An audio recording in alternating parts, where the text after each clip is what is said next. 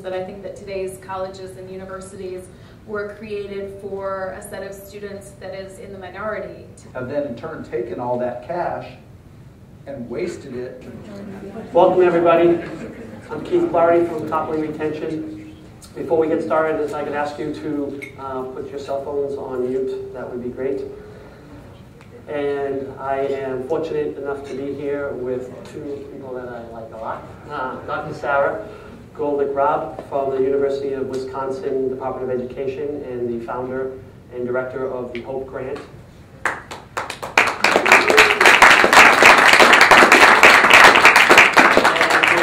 Mark Cuban, who is a uh, education investor in RankU, Packback Book, Degree, as well as in our company, Copley Retention, as well as most of us know him as really an American entrepreneur. So, really, um, both Mark and Sara have very similar beliefs in the area of accessibility and the area of the cost of, of, um, of, of higher education. So my first question to you is, how can we make college more affordable? Sure. Um, you put a limit on the amount of debt that the government will guarantee. You cut off the, the, the, flow, the flow of money to schools and they'll have no choice but to lower their costs and to lower um, what they charge. Simple. Well, I think that's, that's, I think we actually agree on that part. I'll complicate it just a tiny bit more, which is that I think that today's colleges and universities were created for a set of students that is in the minority today, right? So it was built for the kind of student that gets to go to college full-time, just focuses on school, has mom and dad to pay for it, um, maybe works part-time waiting tables, which makes enough money to cover the living costs, etc. And that isn't today's college student at all. Today's college student is, is what we call non-traditional, which I think is a ridiculous word because it is the new traditional. They're juggling a lot, they have a lot to do, and the fact of the matter is that we're asking them to give up far too much of their income to pay for college. And you know, Mark's right, that essentially the government has facilitated the colleges and universities continuing to raise those prices every year because they can get a steady flow of income. Uh, in the private sector, that's what we're seeing happen. They just keep pricing it higher and more loans come in. In the public sector, however, I would argue that we don't see the loans causing this problem. We see the disinvestment of state government causing this problem. Yeah, but they go hand in hand, right? Because as if you have easy money, it's just like housing prices, right? Easy money forces up the price of housing, which means the price of college goes up in this particular case, which means that you force the hand of those who can't get access to the loans, mm -hmm. right? And that puts them in the position that you defined.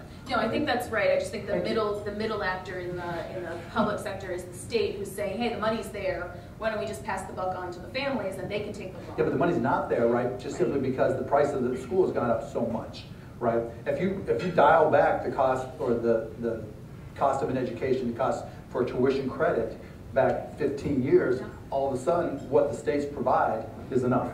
That's right? true. Right. What all of a sudden the non-traditional student who now becomes the typical student, right, isn't in the same position. They can borrow, which means they can go to the school, one of the schools of their choice, which means they can survive with a part-time job working at McDonald's or waiting tables or wherever. It's just that we've created a bubble, no different than the real estate bubble. And the colleges, because it's so easy, it's been so easy for them to just keep riding that bubble, have then in turn taken all that cash and wasted it on infrastructure and administrators.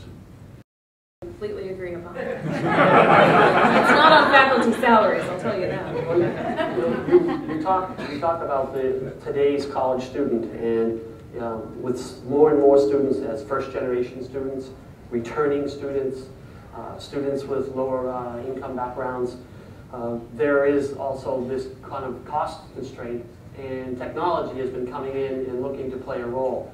You know, how, how, how big of a role do you see technology playing in, the, in kind of where education is heading? You go first this time. Okay, all right. Well, I think, I mean, I think it's really good how you just laid out who this student is. And when you're thinking about that student in particular, I do think it is very unlikely that we will be successful in completely replacing human interaction.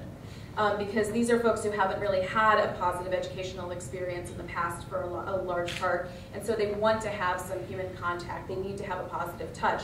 The question is, can any form of technology deliver that, right? And can it help can it help to um, enhance the offerings of the person who is interacting with them? So I think that's, you know, for example, what you guys are doing, where you're actually making the advisor or the tutor more effective through the use of technology, that's promising.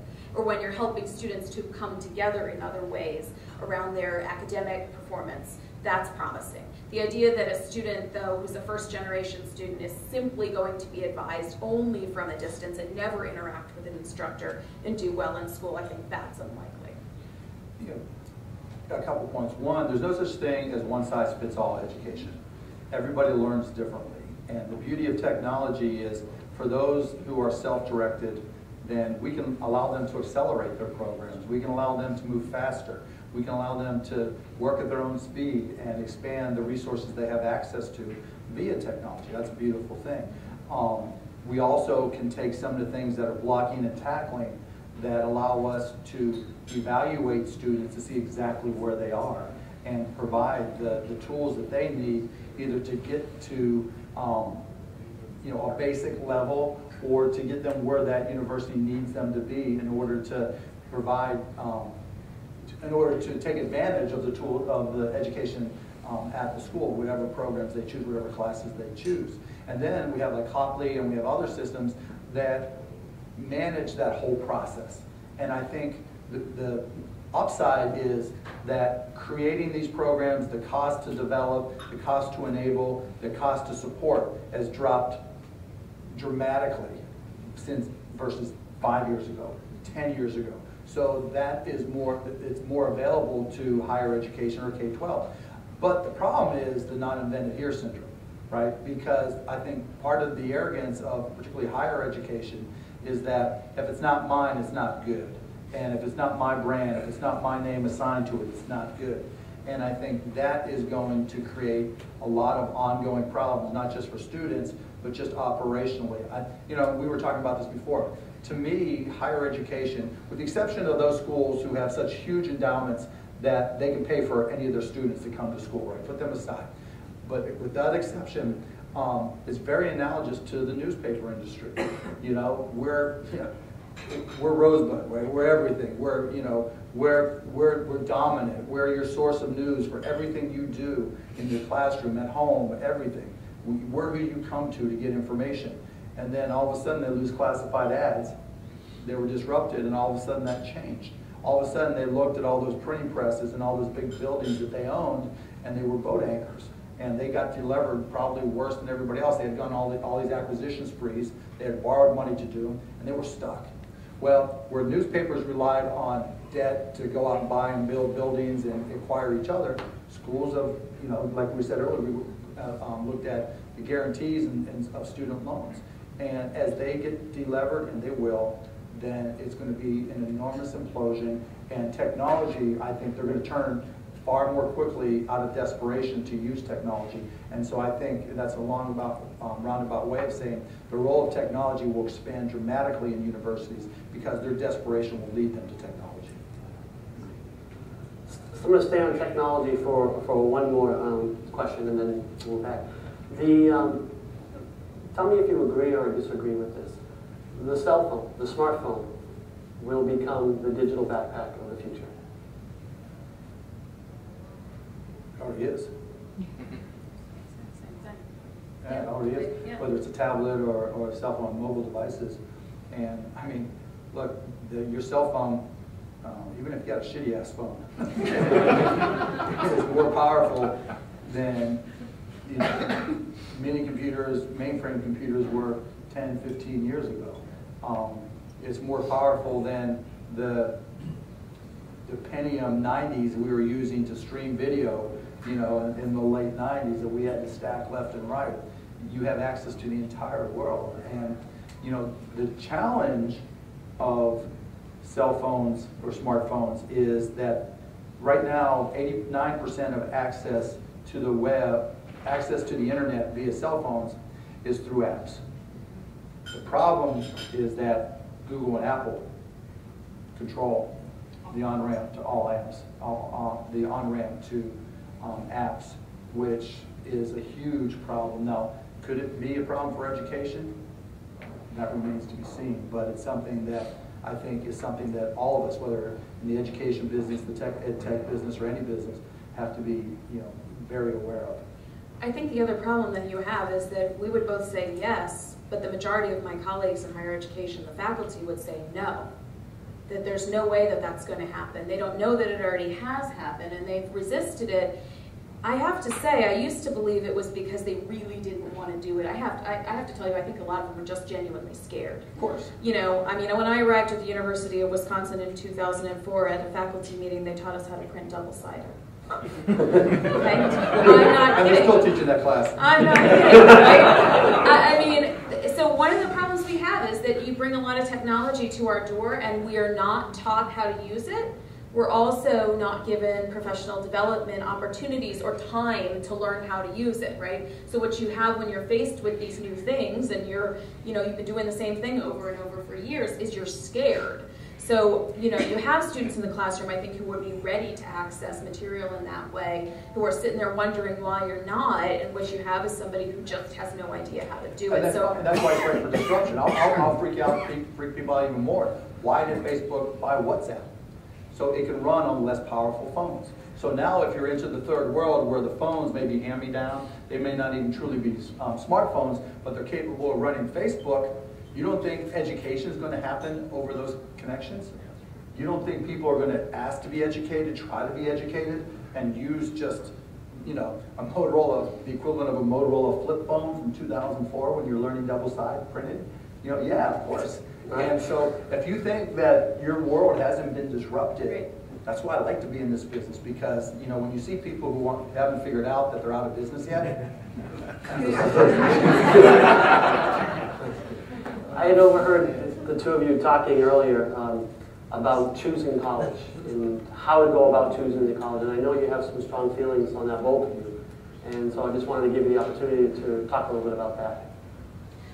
Well, I, I think I'd like to write some, some kind of new version. I think too many people are using the Princeton Review in terms of, you know, how to, how to pick colleges today or some kind of online version of that, and they're not focused on what's the most important thing, which is what's affordable for you.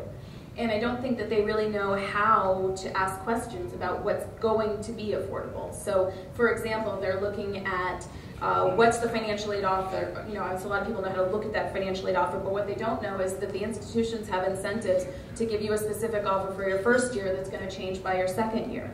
Right? They're trying to get you in the door, and then they pull the bait and switch right? You also don't know, and I don't hear parents walking around the campuses asking questions like, how much is my students' support, their academic support, in priority of this institution, right? How much of the money is going to the coach versus the professor? How much of the time that all that's publicly spend? available, but it doesn't change the fact that it's ridiculous. I don't think it's that publicly available for the private schools. Oh, it's private. I know where to find it for my public institution, but I think this stuff is hidden from parents and families. And so they're given all these other markers, like these fancy buildings, that they're supposed to use to judge quality, when in fact, all that is is how much they're not spending on your student. I got an email from a kid probably two days ago. He goes, Mark, I, I need your advice on which where, where to go to school. He goes, I've narrowed it down to two. One was Hofstra, and the other one Rutgers. And he said, where, where, what do you think? Which is a better school? I said, which is cheaper? And he emails me back, Hofstra, here we come. and I've literally, and it breaks my heart, um, I've had people ask me the same type of question about Indiana University, where I went to school. And the answer is, what's the cheapest one? Why? Because I know just from interviewing, I can't even count how many people for jobs, my own experiences, talking to people, talking to parents, that the one certainty about an 18-year-old is that they're clueless. The second certainty about 22-year-olds, they're still clueless. and trying to make a decision that's going to leave you hundreds of thousands of dollars in debt is ridiculous. And so, yeah, there's there's all kinds of external things that might say, you know, well, my family's gone here, like whatever the case may be. Um, this is a better party school, this whatever. Um, there aren't a lot of, I, I'm a big believer you go to college to learn how to learn. And then when you graduate, instead of paying to learn how to learn, you get a job where you get paid to learn how to learn. Do you get paid to learn. And then whether you stay at one job or skip around to different jobs, you're continuing to get paid to learn. You're get, continuing to get paid to learn until you figure out what you want to be if you grow up. Um, and so that to me is the progression. And the concept of brand, you know, I think the problem that kids go through is they associate the brand of the university with themselves. They, they, it's like an affinity brand. It's like getting a Mavericks credit card. If I use my Mavericks credit card, hey, I must be, you know, I'm, I'm showing, you know, who I am. I'm, I'm defining who I am. And so if I go to the Harvard of the whatever, the Harvard of the Southwest, the East, the North, the South, then I must be smart and everybody will think I'm smart. That probably worked five years ago and earlier, and it works some today, but that's going to go away, right? Unless you actually go to Harvard or some school that is, you know, has the endowment to pay for you to get through there, you're going to realize very quickly that if you went to school A and you left school A with $120,000 in debt with just a regular degree, you were an idiot. And not only were you an idiot, the school was horrible and just as bad and just as misleading for the reasons Sara just mentioned. And so their brand, brand is going to suffer dramatically. And that's why you know, with Ronku, we're looking at outcome-based um, education and making choices based off of outcome. To me, you're going to see the brands of universities deteriorate quickly and dramatically because of the positions they're putting their kids in. If you can't educate a kid without putting them so far in debt their life is, is marginalized, you don't think you should be, you should get whacked for that? I have a question. I have a question as, as an employer, right? And this is what we don't know in education. So NYU is one of those schools that puts an enormous number of people in debt and also takes an enormous amount of money from the federal government, right, to put people in debt. Mm-hmm. Are you telling me that employers are going to start rejecting those NYU applicants? At some point, you're going to say, are you kidding me? I mean, look, I, I have no problem asking a, an applicant, how much money do you owe? you know? Because, you know, it, it your living conditions and how you live your life impacts how you live, what kind of car do you drive, right? Did you, you know, take, you know, did you buy a house? You know, what, what are your expectations? Where are you at? And look, it's not necessarily bad from an employer's perspective that they have a lot of debt because you're stuck, right? It's going to be a lot harder for you to switch jobs, right? It's like having good insurance. I hate my job, but um, you know, but at the same time, I'm going to look at you and go, okay, you're a kid. But as these things evolve and we become smarter about outcome-based education, that's going to revert back to you. It's going to be the equivalent of putting a drunk picture on Facebook. You know, here's my drunk picture. I was trashed at my high school prom. Oh, I was trashed when I made a decision to go to this school and take on $100,000 in debt, right? I just, I just see it having enormous consequences um, that we all have to pay attention to. I mean, if, if, in business, right? If, like I've done interviews where I said, you're an idiot if you take out a loan to start a business. Because the bank wants paid no matter what. And they work to their schedule, not yours. Wait, this is no, this is the business of you. And again, you get a pass because you're 18. The university doesn't get a pass for putting you in that position. I totally agree. I always look at people who came from community colleges in a very special way because, first of all, if they came out of a community college and they got somewhere with a four-year degree or of any kind, they're survivors to begin with, but also they made a really smart economic decision. Do you really think that employers are going to start to value those credentials? Yes. Look, there was an article by Google about Google they were talking about hiring. I think it was in the New York Times, yes. where they were saying, you know what, the guy, the guy who hires what 100 people a day, he was saying, you know, I personally would like people to go to college, but if you get, if you have what I need, I'm more than happy to hire you. Uh, you know, I'm more than happy to do the same thing. I've, I've invested money in kids that, you know, 19, 18, 20, don't have degrees yet. Um, there's a Shark Tank deal. Lonnie, um, who had, um, Lani, she gets mad at me. Um, she has a company, um, Simple Sugars, and she makes scrubs. She came on Shark Tank. She was 19, $40,000 in business. Now she, she'll do $3 million this year. She's killing it. Never went to college. Who cares? Not a problem. The goal is obviously to get the students through college, to make them contributing adults, the ability to support a family. What's the one thing, or a one thing, that you think could help in kind of achieving that goal? Because obviously, it's a big challenge. And Sara, maybe you might want to. Great. Well, it, is a huge challenge, and I think a lot of people don't really realize it's a big part of why this country is not getting towards where its goals right now because we've pushed a lot of people to go to college, and yet you have places where, frankly, one in 10 are finishing what they started. One in 10, oh yeah, I can give you a list. and it's pretty incredible. It's, it's actually oftentimes the case that people don't even, yeah, they don't know it. It's in, that, in your local paper that I can give you five colleges in Chicago right now where that's the case. I can give you several in Wisconsin. I can give you plenty in Pennsylvania. We don't talk about it, and it's mainly because I think that we pin it on the student. Mostly We for say- profits or? No, they're for profit, they're public, they're private, they're all over the place. We have some really dismal completion rates. And the problem is that the tendency is to say, to throw up our hands and say, well, that was somebody who wasn't supposed to go to college. That was, that was, we made a mistake, right? That was, we're not doing our job gatekeeping, right? The high school should have told them not to go.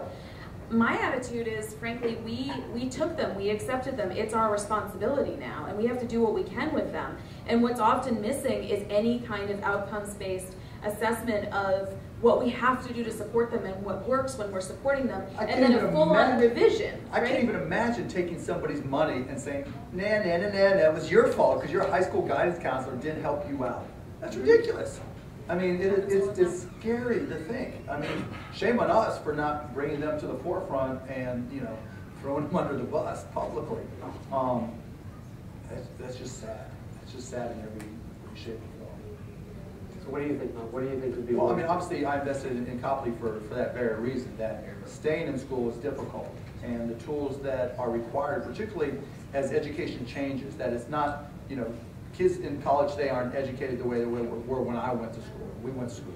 And so, because of the evolution, you need systems and, and, and procedures in place that give you the tools to evolve, right? So what work might work for one school, or one set of students, or one class of students, it may be sit down face to face. It may be because they're working and they can't get there.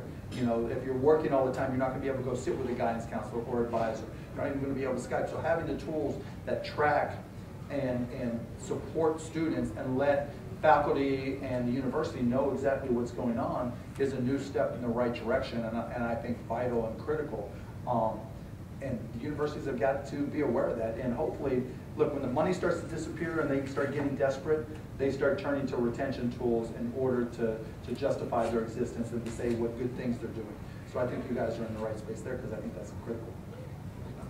Well, thank you, um, both of you, for coming up and Do you questions? you want to take some questions? I'll Okay. take it. Okay. Except from these two. No questions for you. Okay, well, no question. There you go.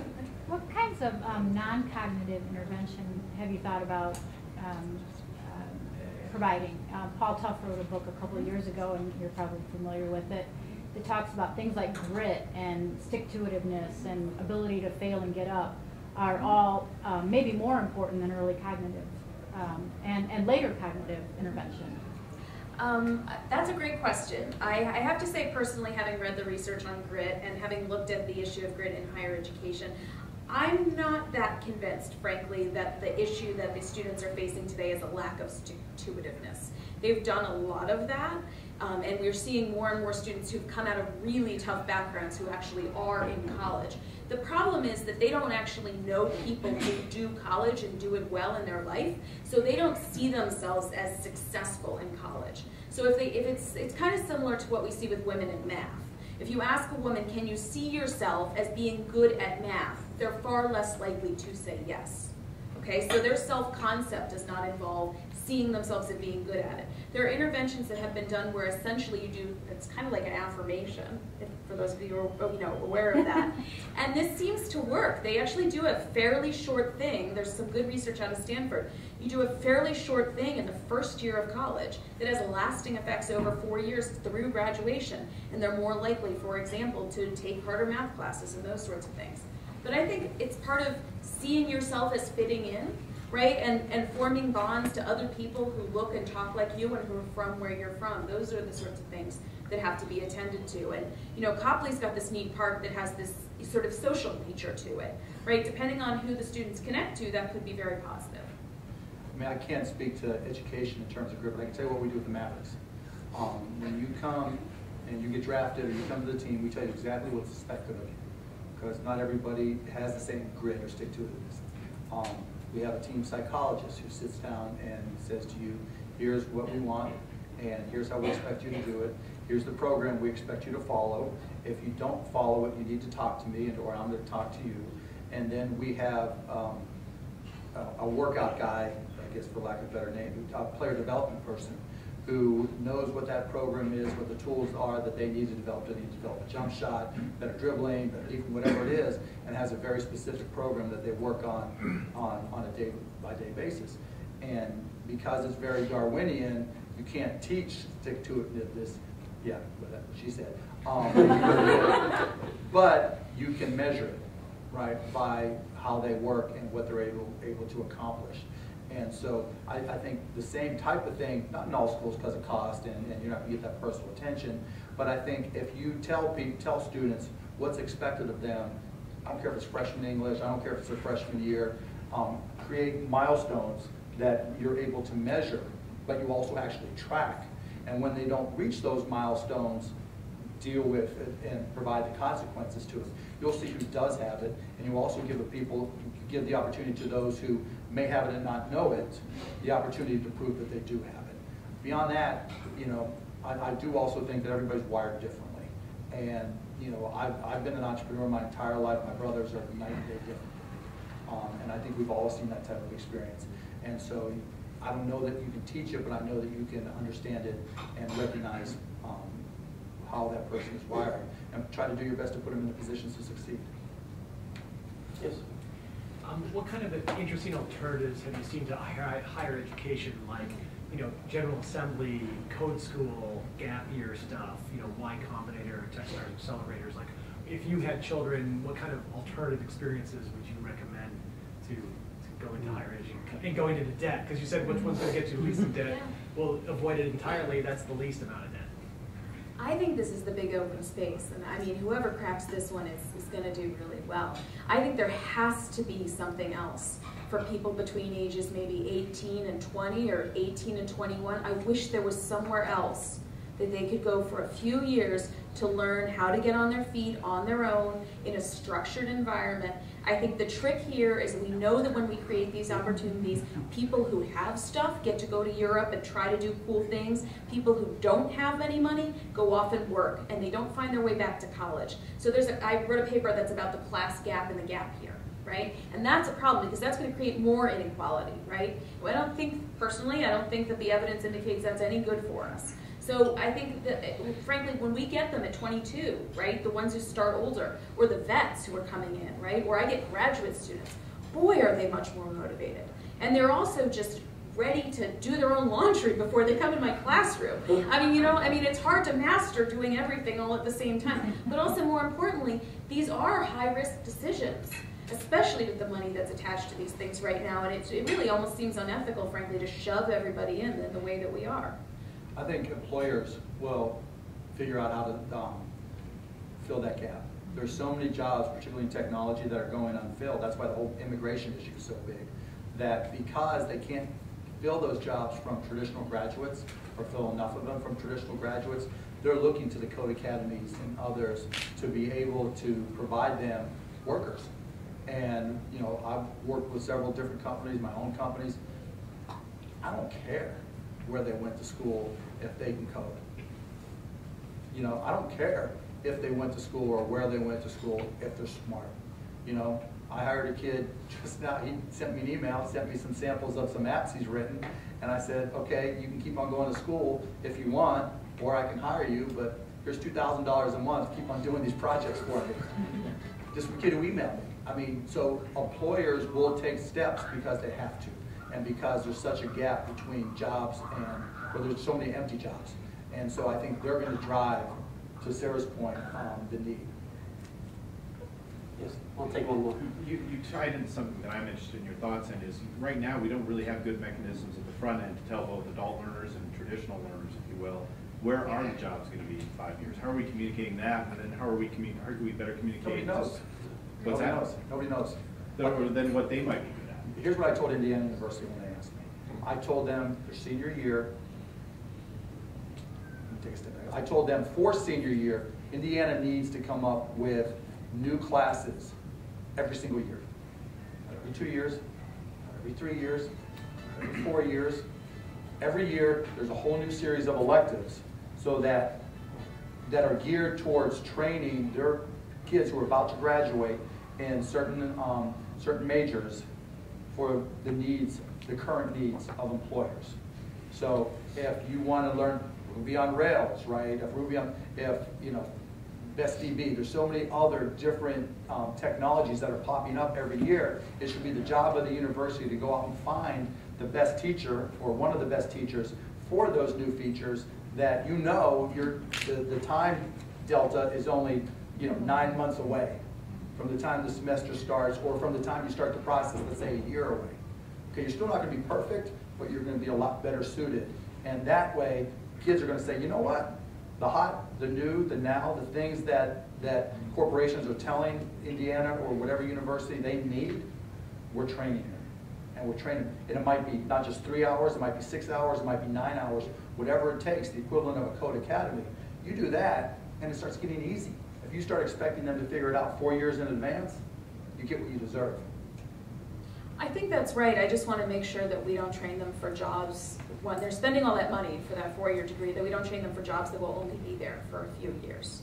Right? Well, but once I you mean, learn critical thinking, you learn I agree with you. So I want to see the emphasis on that, and that I think is what we haven't conquered. I mean, I don't even think that most of us know how to really teach, develop critical thinking skills. I think that a lot of us get people who have them. That's who's admitted, and then we sort of process them through it, right? We don't necessarily add value there. I think helping us to learn how to do that is really big. Assessing those things is really difficult. No multiple choice exam is going to do that for us, right? So we do these essays, and I, I'm glad that we're coming up with some technology to help us to figure out how to deal with those essays, but overall that stuff takes time.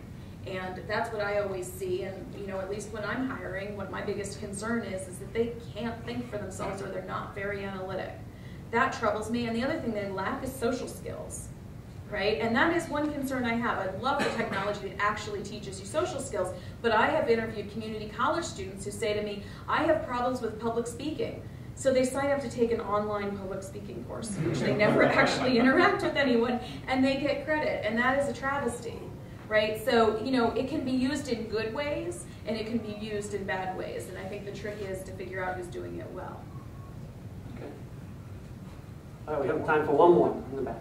I had a question about um, competency-based education, because what I'm hearing is, um, you know, there's some things that you said around uh, this idea of personalized learning and having the data-driven proof of um, achieving learning outcomes, and then Barclay said something about whether you're taking that, you gain that competency, whether it's six hours or 12 hours or 18 hours, you know, you have that skill set. I mean, What is your take on competency-based education?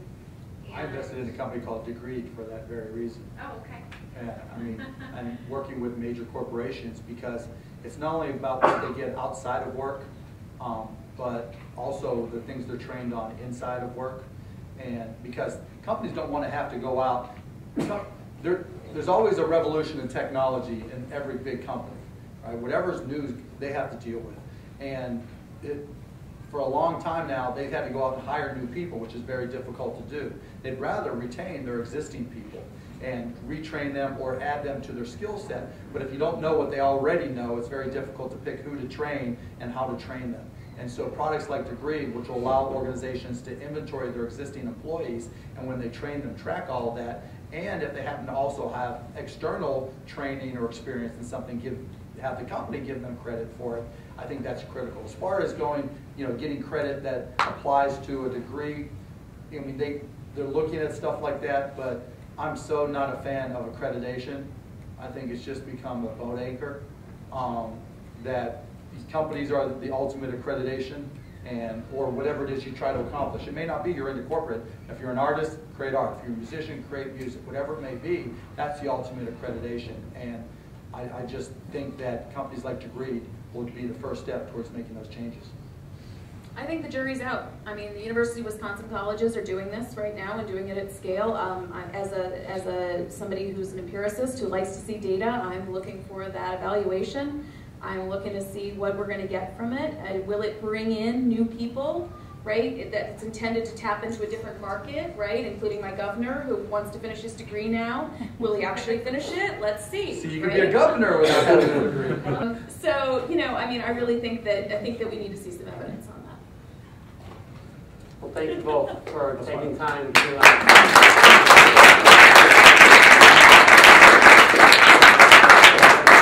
We're gonna um, have the bar open for a little bit and mingle around, so if you want to catch up and and chat to Dr. Sara or Mark, they'll be here for a little bit.